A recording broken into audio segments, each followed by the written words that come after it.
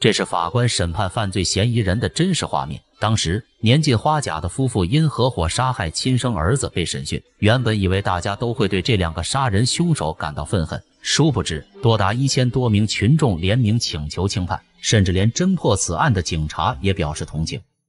被告人于秀英犯故意杀人罪，判处有期徒刑三年，缓刑三年，缓刑考期限从判决确定之日计算。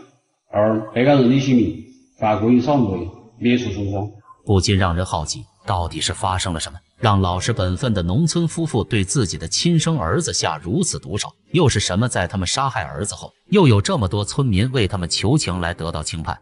时间：二零一四年四月十一日，地点。四川省眉山市洪雅县止戈镇八角庙村，晚上十一点左右，当地派出所接到群众报警，声称在辖区内的八角庙村发生了一起命案。当警方来到现场，发现有一名男子躺在血泊之中，已经没了呼吸。据了解，死者名叫李华银，是这家主人的儿子。而就在案发现场的不远处，浑身是血的李华银父母瘫软在地上，貌似刚刚见证了这起骇人听闻的杀人案。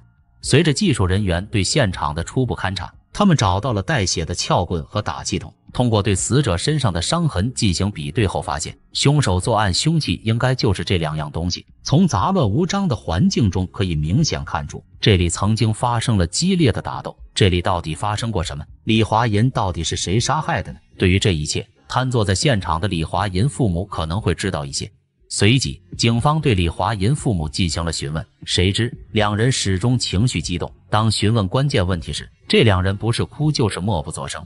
与此同时，侦查员对附近的邻居做了走访调查，发现案发时间段，周边邻居没有看到有陌生人来到村里，只是隐约听到李华银家传来巨大的吵闹声。同时，报案人也给警方反映了一个重要线索。他是接到李华银父亲李启明打来的电话后，前往现场就发现李华银已经死在家中，而且李启明说是自己和老伴于秀英一起将儿子李华银打死。对于报案人提供的这些线索，警方完全不敢相信。但目前证据都在说明李启明和于秀英是本案的凶手，警方只好等两位老人平复好心情后，对他们做了审讯。在长时间的交谈后，两位老人最终交代了自己的犯罪事实。案发当晚。李启明和老伴于秀英很早就上床睡觉，谁知在十点左右，儿子李华银破门而入，询问今天的饭菜为何有异味。没等李启明解释，李华银竟然打了李启明一巴掌。瞬间生气的李启明打算教训下李华银，两人因而扭打起来。眼看自己的丈夫和儿子在家里打起架来，于秀英连忙上前劝架。可让她没想到的是，李华银对她也是一顿拳打脚踢。自己本身只是来劝架的，现在却还要被你打。想不过的于秀英也开始殴打李华银，三人拉扯中，李启明将李华银的腰死死抱住，而于秀英就与李华银互殴。在黑灯瞎火的情况下，于秀英不小心用家里的打气筒和撬棍将李华银打死。在于秀英和李启明断断续续的讲述中，警方大致了解到李华银是被他两尸手打死。虽然两人陈述的内容基本一致，可仍有很多疑问让警方疑惑。第一，为何晚饭变质？会让儿子和父母发生如此严重的冲突。第二，为何在这个冲突中，双方都有想把对方置于死地的架势？看样子，这里面还有很多不为人知的秘密。警方对这一家三口做了详细调查。据了解，死者李华银生于一九八九年，生他的时候，母亲于秀英已经三十四岁。由于是高年产子，于秀英生李华银可谓是冒着生命危险。多年来，老两口对这个独子疼爱有加。虽然两人是地地道道的农民，但还是尽最大的努力让儿子过上幸福生活。当李华银二十多岁的时候，老两口拿出所有积蓄，借遍所有亲戚朋友，为李华银建造了一栋新房，用来结婚。因而，当村里人听说是李启明夫妇将李华银杀害，没一人愿意相信。既然是这样，李启明夫妇为何舍得将自己的儿子杀害呢？对于李华银的死，老两口没有过多伤痛，更多的是愤怒和恨铁不成钢。而这种情绪在二零一四年的春节后达到了顶点。在二零一三年的腊月二十九，李启明多次给儿子李华银打去电话，询问他是否回家过年。可每次打去的电话都是无人接听。直到吃团圆饭的时候，老两口还是没等到儿子的归家。然而，在大年初一的时候，李华银突然回到家。一到家的他，整个人就变了，不喜欢出门，不喜欢说话，甚至有点暴力倾向。从那以后，李华银不再出去打工赚钱，每天宅在家中无所事事，游手好闲。没钱用的时候，就向李启明进行索要。一开始，李启明还会给一点，可时间一长，本身没什么钱的李启明也无法满足李华银的欲望。可心疼儿子的于秀英，每次都会想方设法的给儿子一些钱。时间一长，老两口也无法满足李华银的狮子大开口。每次索要无果后，李华银都会对老两口进行殴打。李华银性格的突变，让李启明夫妇以及村里人都觉得是李华银在外打工时受到了什么刺激，不然不可能变得这么暴躁。于是，李启明背地悄悄地向当地的精神科医生进行了询问。医生的一席话让他心中一颤。医生说：“如果你儿子是精神病的话，为何每天都在家不往外跑呢？如果是精神病的话，为何他只打他的父母，而村里其他人都不会去打呢？”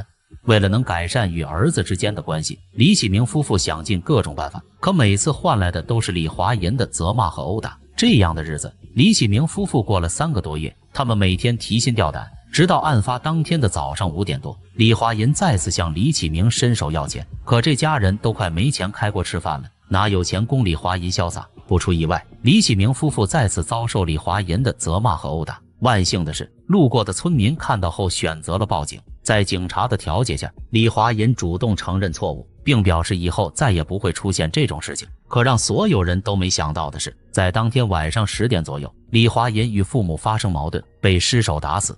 从李启明和于秀英的供述以及对周边邻居的走访调查后，警方得知这起案件很有可能是儿子常年对父母实施暴力，最终在一次冲突中。父母不小心将儿子打死，可是技术人员对案发现场以及尸体做了更详细的勘查后，发现李华银脸上有脚印，这说明有人对他进行了蹬踹。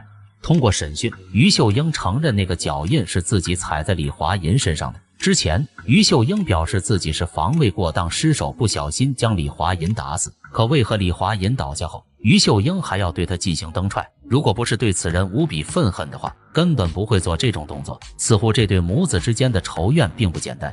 眼看自己这一切都无法继续隐瞒下去，于秀英慢慢说出了这家人不为人知的秘密：李华银从小是一个乖巧可爱的孩子，直到读初中的时候，李华银认识了一些不三不四的人，变得越来越叛逆。作为父母，于秀英不知道应该怎么教育，更多时候只是打骂。不出意外，李华银初中没毕业就辍学回家。为了生存，李华银被父母安排到一家理发店学习。从此，李华银就像一匹脱缰的野马，不再受任何人的管制。每次与父母联系，也只是要钱。随着接触的人和事变得越来越多，李华银对自己的父母感到嫌弃，他觉得自己的父母太老。还很穷，即使儿子对于秀英夫妇表示很嫌弃，但他们还是专心在家耕地种田，努力让儿子过上好生活。慢慢的，于秀英发现，只有在给钱的时候，才能让自己的儿子真正开心。所以，即便没得到丈夫李启明的允许，于秀英都会偷偷给李华银一些钱。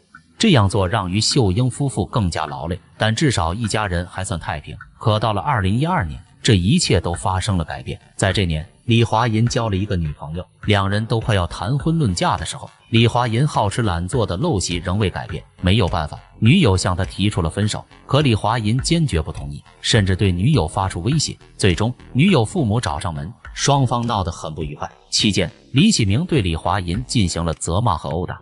这件事后，女友和李华银彻底决裂，而李华银也将这一切都怪到父母头上。从那以后，他不再与父母交流。更是负气前往广东打工。或许是他在更大的地方接触到更多的是货人。再次回到家的李华银性格变得异常暴躁。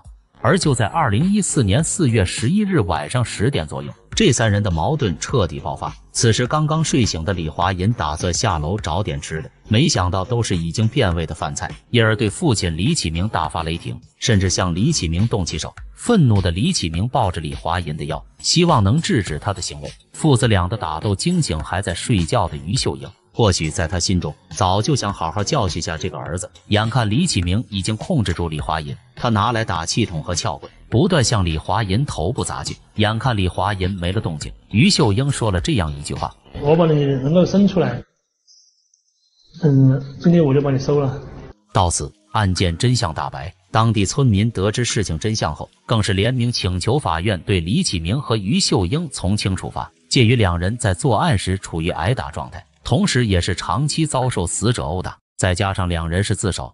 二零一四年八月二十五日，眉山市洪雅县人民法院对该案作出判决。被告人刘英犯故意杀人罪，判处有期徒刑三年，罚刑三年，罚刑开始起刑，从判决确定日计算。二、被告人李新民犯故意杀人罪，免除处分。